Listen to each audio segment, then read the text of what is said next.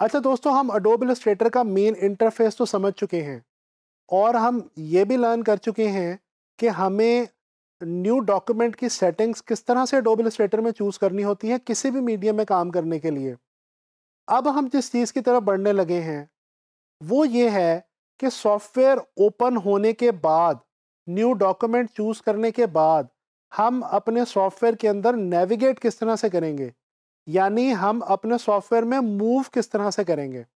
तो चले आए, चलते हैं डोब इलस्ट्रेटर की तरफ़। अच्छा ये तो चलें दोस्तों डोब इलस्ट्रेटर स्टार्ट करते हैं ओपन करते हैं इलस्ट्रेटर को और नेविगेशन सीखने की कोशिश करते हैं डोब इलस्ट्रेटर में। ले जी, हमारा डोब इलस्ट्रेटर ओपन हो चुका है, हम न्यू डॉक्यूमेंट लेते हैं। अच्छा अब मैं वैसे ही प्रिंट मीडियम का एक स्टैंडर्ड डॉक्यूमेंट जो है वो ए साइज़ का चूज़ कर लेता हूँ। और ये स्टैंडर्ड सेटिंग्स मैंने जो है वो डॉक्यूमेंट की सेट कर रखी हैं ऑलरेडी ताकि मैं आप लोगों को आगे समझा सकूँ। क्रिएट पे हमने क्लिक किया और ये अब हमारे पास इलस्ट्रेटर जो है वो ओपन हो चुका है। अच्छा दोस्तों, ये अडोब इलस्ट्रेटर का इंटरफेस तो मैं आपको पहले भी समझा चुका हूँ। अब इस वक्त जो हमने चीज़ यहाँ पर सीखनी है, वो ये है कि हमने इस सॉफ्टवेयर के बीच में मूव किस तरह से करना है। देखें, किसी भी सॉफ्टवेयर में काम करने के लिए टूल्स वगैरह को सीखने से पहले ये चीज़ ज़रूरी है कि आप ये समझ लें कि आप उस सॉफ्टवेयर में रोम अराउंड किस तरह से करेंगे। यानी आप उसके अंदर मूवमेंट आपकी जो है वो किस तरह से होगी। जिस तरह से किसी भी जगह पे आप एक जगह से दूसरी जगह जाने के लिए आपको किसी रोड को का सहारा लेना पड़ता है, आपको नेविगेशन का सहारा लेना पड़ता है। इसी तरह से कुछ ऐसे टूल्स हैं जो हमें यहाँ पे इलस्ट्रेटर के अंदर हेल्प आउट करेंगे। जी नेविगेट करने के लिए। तो चले, मैं आपको वो दो तीन टूल्स ज़रा जल्दी से बताता हूँ और ताकि आप लोग फिर इलस्ट्रेटर में नेविगेट करना सीख जाएँ।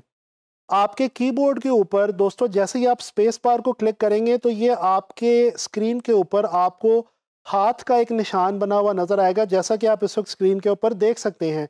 दोस्तों, इसको हम कहते हैं हैंड टूल ये हैंड टूल किस लिए काम आता है?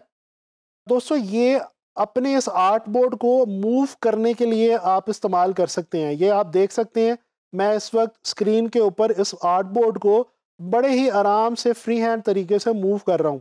तो ये बेसिकली है जी हमारा हैंड टूल जो कि बहुत ज़्यादा ज़रूरी है और ये जो नेविगेशन के जो दो तीन टूल्स मैं आपको भी बता रहा हूँ, ये आप लोग बहुत रैंडमली कोई भी टूल इस्तेमाल करते हुए, कोई भी इलस्ट्रेशन बनाते हुए, कोई भी डिज़ाइन बनाते हुए आप इस्तेमाल करते रहेंगे। अच्छा इसके बाद दूसरा एक टूल मैं आपको यहाँ पे बताता चलूँ। बड़ा ही इंटरेस्टिंग और बहुत ही इंपॉर्टेंट टूल है।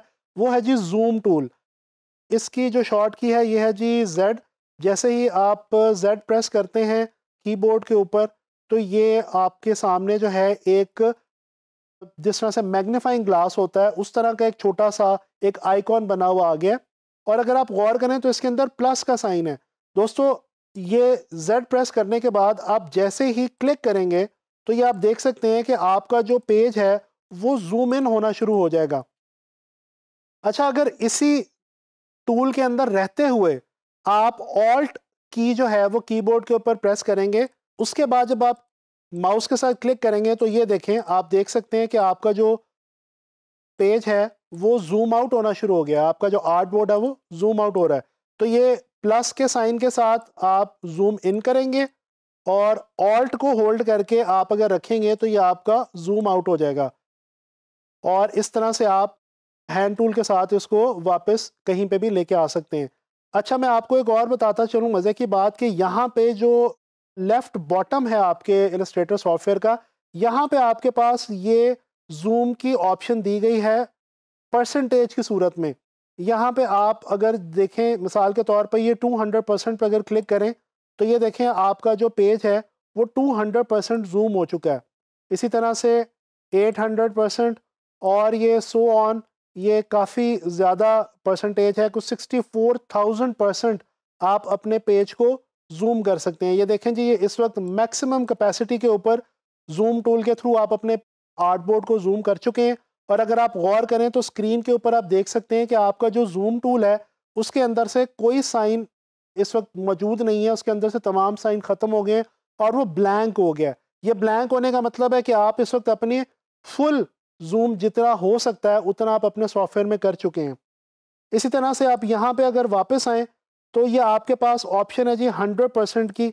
हंड्रेड परसेंट जब आप इसको जूम करेंगे तो ये वापस स्टैंडर्ड जो आपका पूरा आर्ट बोर्ड है, आपको आपके स्क्रीन के ऊपर नज़र आ जाएगा। इसी तरह से आपके पास एक ऑप्शन है फिट ऑन स्क्रीन ये देखें, जैसे ही आप फिट ऑन स्क्रीन करते हैं तो ये आर्ट बोर्ड आपका पूरा पूरा आपकी स्क्रीन के ऊपर फिट हो चुका है।